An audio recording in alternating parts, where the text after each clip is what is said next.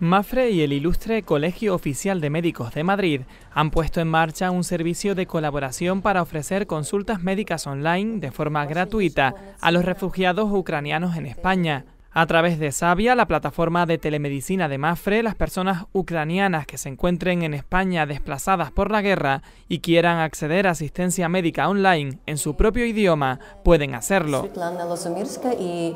La atención que puede prestar Sabia a los refugiados eh, ucranianos es todo lo que puede caber dentro de una videoconsulta, que es muy amplio. Todos sabemos que, evidentemente, una exploración física solo la puedes tener en una visita presencial, pero quitando eso, pues eh, cualquier orientación médica eh, mm, pues se puede prestar a través de la videoconsulta, un diagnóstico también, el levantamiento de un historial médico online también se puede hacer e incluso si, esa persona, si el refugiado necesita una receta médica, pues a través de la videoconsulta de Sabia, el médico que atiende en ucraniano puede hacer una receta electrónica que viaja al móvil del usuario y esta persona, pues en cualquier farmacia, puede comprar dicho medicamento. En España tenemos más de 100.000 refugiados ucranianos que se han visto obligados a dejar atrás sus hogares por la guerra en su país.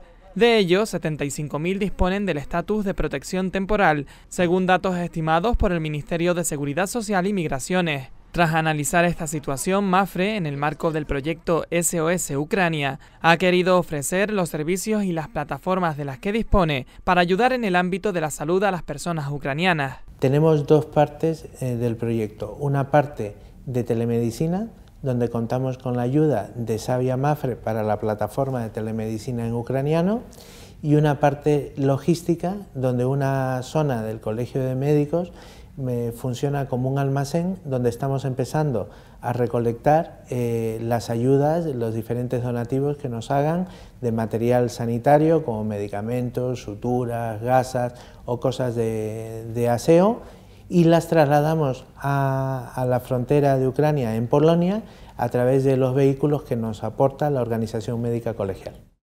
Además, en función del éxito y del uso que reciba la acción, la aseguradora está trabajando en la posibilidad de incorporar videoconsultas psicológicas online para ofrecer asistencia psicológica también, sin ningún tipo de costes.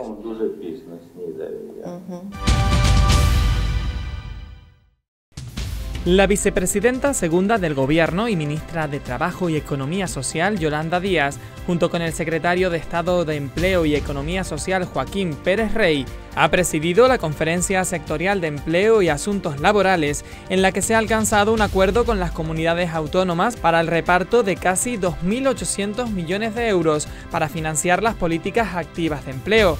De este montante, Castilla-La Mancha recibirá un total de 131.361.250 euros.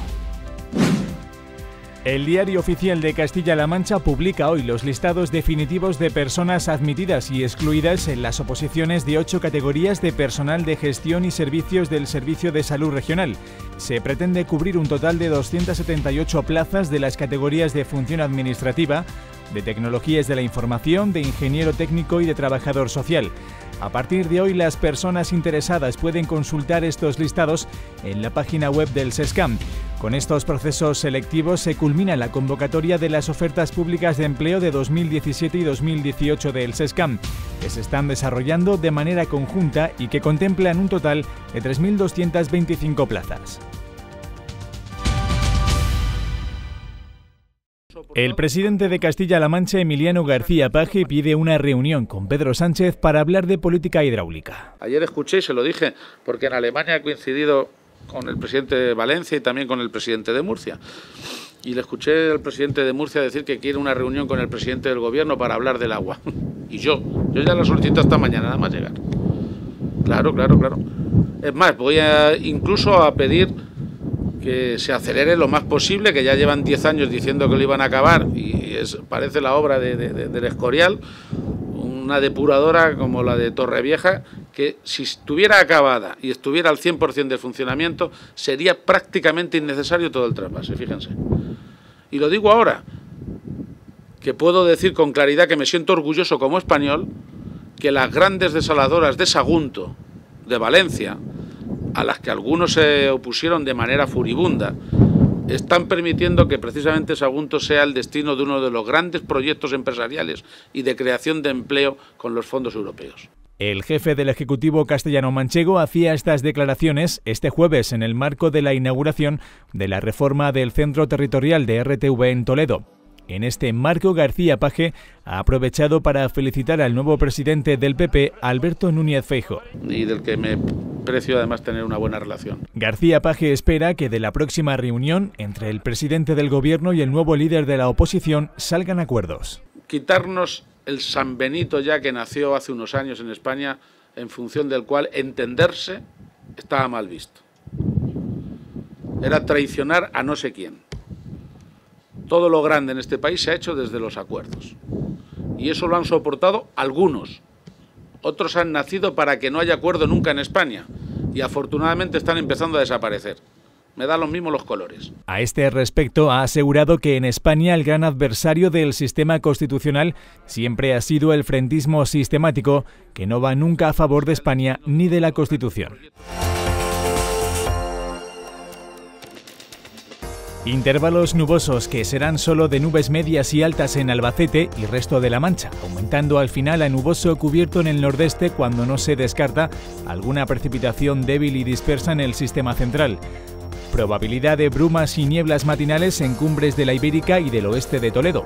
Temperaturas mínimas sin cambios o en ascenso ligero más acusado en las sierras de Albacete y máximas sin cambios o en ligero descenso. Heladas débiles dispersas en zonas montañosas de Guadalajara.